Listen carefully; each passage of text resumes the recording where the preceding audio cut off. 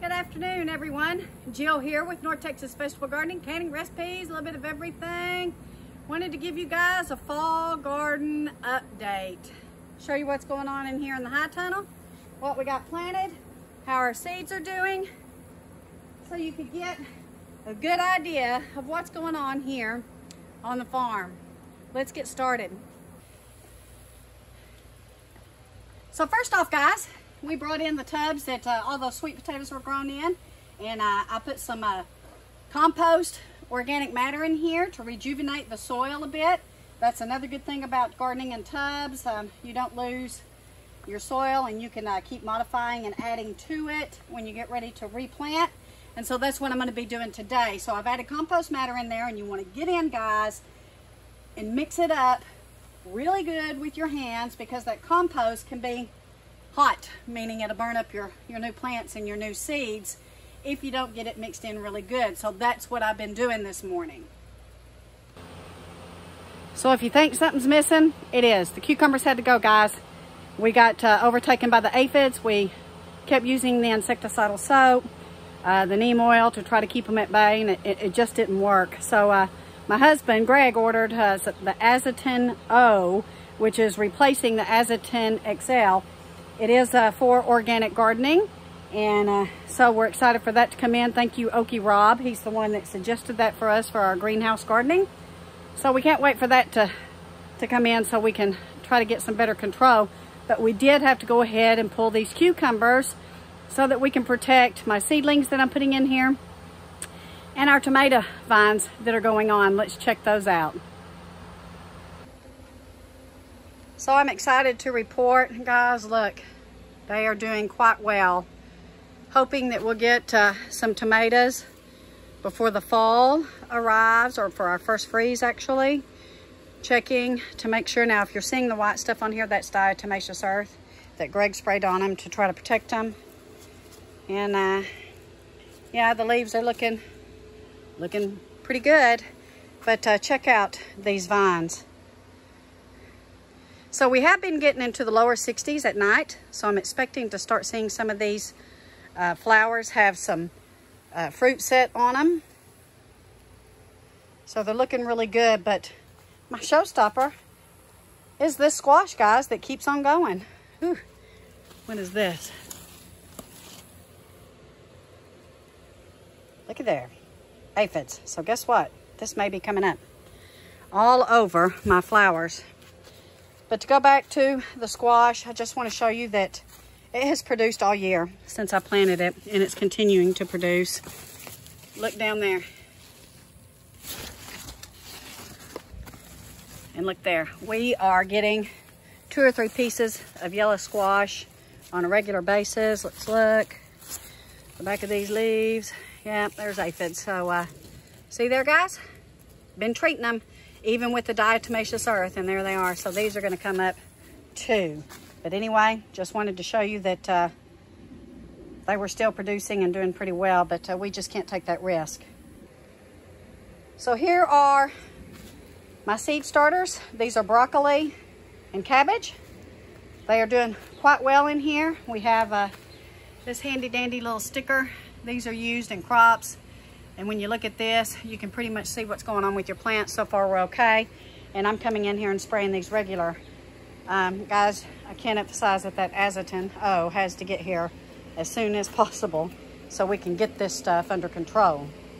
But uh, otherwise, they're looking pretty good. I planted these about a week ago. So here are the tomatoes that we put in the ground. We have a, head start from last year. Last year I hadn't even put my little uh, starters in the ground yet. So you can see these have been in the ground for a while. And uh, they're also starting to produce flowers. Again, I'm expecting with these cooler temperatures that we're getting at night to see some of this fruit set. And even if we get green tomatoes, there's many things we can do with those. And we'll cross that bridge when we get to it. Looking good. And over here are my onions. So the bigger ones are the ones that I started in a seed tray and transplanted. And the little ones are the ones I scattered in here. So this is a great idea to use a kid's pool to start your onions in if you're going to be planting a lot. Um, this will give us some really good sized bulbs to put in the ground when that other high tunnel is ready. So we have more cabbage and more broccoli in here. This is uh, some of my Vulcan Swiss chard, and this is my uh, uh, blue kale. So this has been kind of slow to start, but um, I think it's finally kicking in.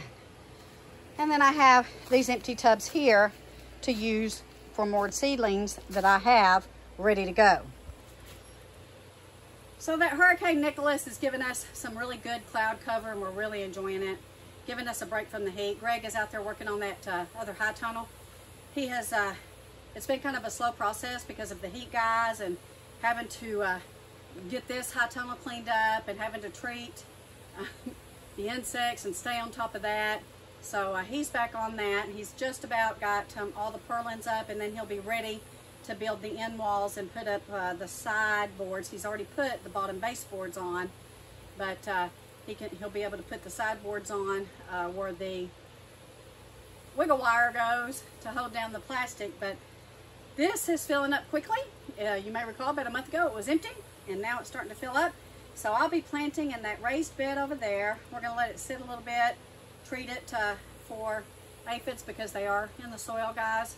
Uh, we did look under the microscope and they were there. And then we have these to plant in. So I think uh, probably in about another month, this will start to look really green and start to, to look uh, filled up. Very excited about that.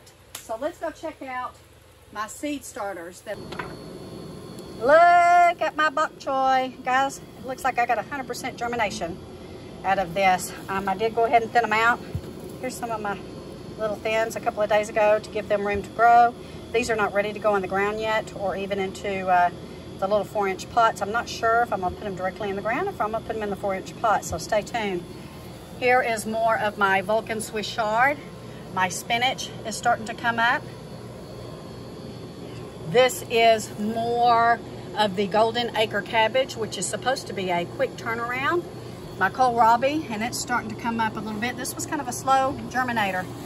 And then here are my celery plants. Um, these have been up here for a while, but it takes celery um, quite a bit of time to get established and to get uh, healthy enough to transplant. Earlier in the week, I started some more Calabrese broccoli. It's doing pretty good. And over here is more of the kale. So uh, this is the magic, I think the magic mountain kale. And then these in my four inch pots. So some of these might go into some of those tubs in that high tunnel. I'm debating because I really don't want anything to get them that's in there. So I may wait for that azatin O uh, to come in and for us to be able to treat them. Tower of Power is looking fabulous. Look at this toothache plant, guys. I've already taken some of the little flowers and put them in uh, envelopes to plant next year. But let's go around it and let me show you what's going on. So this is the plant I took my calendula off of, and you see I got more buds. This is a um, um, chamomile. And look at that rosemary. Man, it has just exploded in here, and so has the tarragon.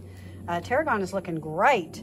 And uh, this is more of that holy basil. I want this to grow, grow, grow, because I want to dry more for tea. It turned out really, really well. Uh, eucalyptus, this is the mullein, and you know I cut some of that off and made a, a tincture uh, last weekend. Sage is coming in just in time for the holidays. And we have some fennel. And my transplants in this raised bed is doing really well. They are doing well. So, uh, looking good. That's also broccoli and cabbage in there.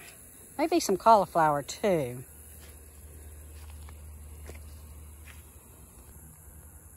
Not quite ready to plant this one yet. When some of that spinach comes to fruition, guys, up there where I can start getting it uh, in the ground, I think I'm probably going to put some of that in here. My spinach always does well in this spot, but it's still too hot right now um, for me to feel comfortable putting anything out here. So we haven't discussed my ginger in a while. It's uh, it's doing really well, guys.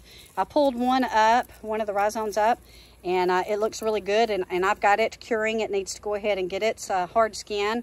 But uh, yeah, I'm very pleased with the ginger. You can never have too much ginger. So Greg tilled up two spots here in front of the high tunnel, the first high tunnel, that we'll plant next year. We're not gonna put anything in the ground in it uh, this fall, but what we're gonna do is we're gonna cover it with weed cloth uh, to kill all the weeds, and then this will be another outdoor area of planting for us.